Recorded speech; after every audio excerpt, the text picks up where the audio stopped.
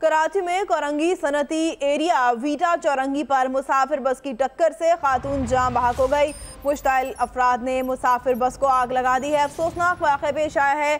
कराची में कोरंगी सनती area, Vita Chowrangi पर मुसाफिर बस की टक्कर से खातून जाम बहक हो गई है। जानते हैं ज़िले हैदर से। ज़िले हैदर अपडेट कीजिएगा, किस तरह से हादसा पेश आया?